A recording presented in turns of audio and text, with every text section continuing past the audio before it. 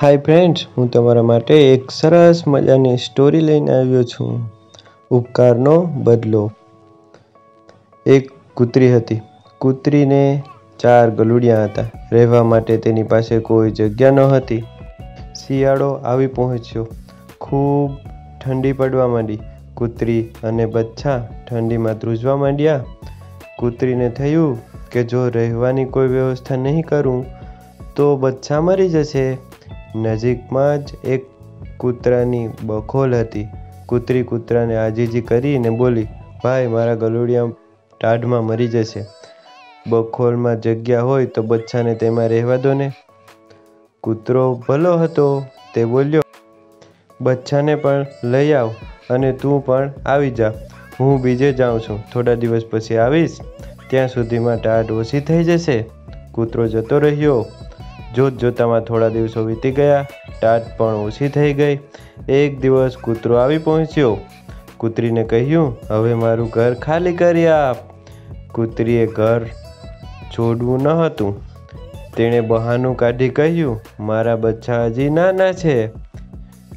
એમને લઈને ક્યાં જાઉં? થોડા દિવસ હજુ અમને રહેવા દો. તો મહેરબાની. કૂતરો બોલ્યો ભલે થોડા દિવસ રહો, પણ હવે પાછો આવું ત્યારે ઘર ખાલી કરી આપજો. કૂતરો જતો રહ્યો, થોડા સમય વીતી ગયો. એક દિવસ કૂતરો આવી પહોંચ્યો. કૂતરાને દૂરથી આવતો જોઈ કૂતરી બખોલામાંથી બહાર આવી ગઈ. કૂતરો બોલ્યો, હવે તો બચ્ચા મોટા થઈ ગયા ને? કૂતરીએ રોફ દેખાડ્યો, કહ્યું, હા, બહુ મોટા થઈ ગયા. એ ચાર અને હું પાંચમી. ને તું તો એકલો, જરા પણ ડબડબ કરીશ? તો જોવા જેવી થશે. માટે છાનો માનો, જતો રે અહીંથી. કૂતરો સમજી ગયો કે કૂતરીની દાનત બગડી છે. એણે પોતાનું ઘર પસાવી પાડ્યું.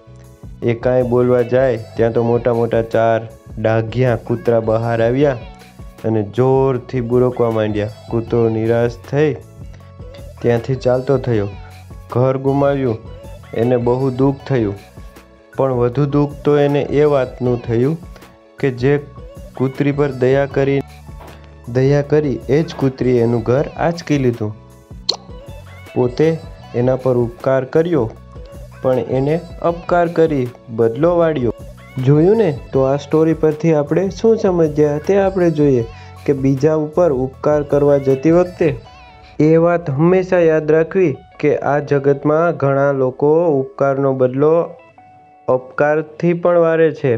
એટલે સમજી વિચારીને ઉપકાર કરવો. Thank you friends